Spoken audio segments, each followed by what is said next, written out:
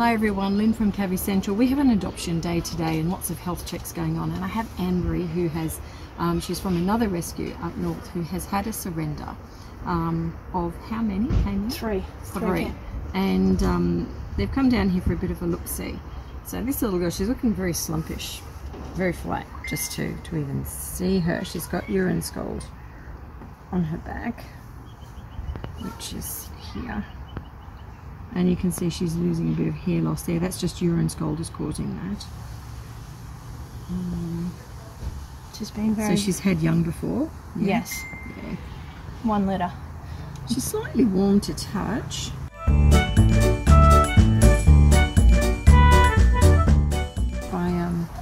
Here, this solid colour, which is brown, you'll notice the interspersed white hairs. They're very clear yep. in this area. So yeah, definitely a roan. Hello, hi. I'm with you in just a minute. No worries. So yeah, the way she's sitting, if we look at her splayed back legs, they're really um, awkwardly placed. How long ago did she have young, do you know? Um, there's a fella in there, so, and he's about a year old, so it's been a good year. Okay, all right. Because sometimes if guinea pigs have had really enormous litters and they've they've yep. held that position for a long time. It's a problem. Yeah, I've got that with one yeah. other girl in care at the moment. Yeah, I'd look at bumping her vitamin C really high. Yep. For her, her coat is actually soft and really nice, but the fact that she's got a lot of urine scald here means she's sitting or hiding or tending to stay in the one place.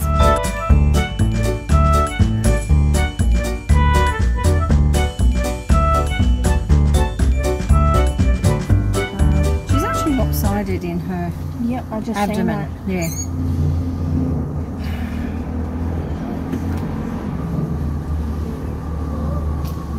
She's actually more distended on her front front left abdomen side. So she has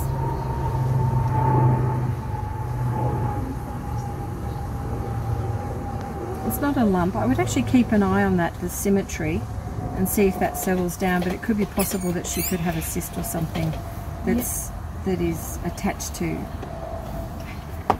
attached there. Yeah it doesn't feel like that but she's just it's very unusual to see her a little bit symmetrically sitting. So it could yeah I would for now there's nothing that indicates she needs immediate help because her eyes are bright. Um, she's eating well her coat's glossy She's not showing signs of anything. This scalding down the back could potentially be on the fringe of a urinary tract infection if she's not watched yep. carefully. So make sure that everything's okay in, in that way. Um, right, that right. she's not in pain or anything when she's urinating, and check the discoloration of it that it's normal. Yeah. And yeah. if it's if it's normal, I would then watch. Yeah. Luckily, she's been normal yeah. overnight. So. Okay. She got a name? Um, what? Oh, just it's a funny little. She's got one little curl right there. Mm -hmm. So look at that front. Normally we'd call a guinea pig like this a smooth coated guinea pig, but she's got one. That's Minnie. one curl. Minnie. That's really cute. Actually, I don't think I've ever seen a guinea pig with just one curl. She's almost got two. There's like another one just here. But yeah, the full one is right there. She's really sweet. So Minnie, well done. Yeah, keep an eye on her. Yes, Keep an eye on her food. Let's just check her feet over there. Yeah, the back check feet are a bit red. you said they're a bit red and sore. They've gone sweetie pie. Like, let me have a look the other way. That's right. That's close enough. Oh, a little bit red, yeah. There's mm. there's no bumblefoot or anything there. Yeah, it's gotten a bit um, nicer since yesterday. yeah, she's still some The thing I'm really more concerned about anything is this discoloration and urine scald down here because she's got lack of hair on either side. She's sitting in one place. She actually doesn't have any discharge that is crystalline or, or anything unusual here, but I would be keeping a close eye on her. Yeah. Yeah, and just checking that her the urine that she is passing is not painful and that is not coloured in any way. And then make sure she's in clean bedding all the time and she's washed that back area and go from there. Yep. Okay? Yeah, she's going to mostly stay inside. So, okay, here we go. Hi, so this is another little fellow from the rescue, and he was called Chip. Was it yep. Chip? Yeah. And um, Chip had a lot of gunk in his ears, which we've removed. He is a really hormonal young little fellow, and um, yeah, apparently the others in the group did not make it. Chip was the only one that did. So that's good to hear. But he's in rescue now, so we will, um, Emery will take good care of him to to find the right home in due course. And he will be going in when his father goes in for neuter. G6. Yeah.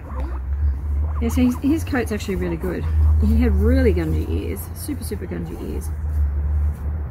And um, he doesn't have as much in the way of loose, dry skin at the back. But his dad's got a much slightly thicker coat than, than I know. You're not used to that, are you? And we're only touching the, the outside of their ears, but he's just not used to that at all. He has never had them right. I know. Is that better? I bet you can hear now. Thanks. Hey everyone, and this is uh, the dad in the rescue. He's called Forrest. What a cute name for all this wild hair. I think it's the most gorgeous name.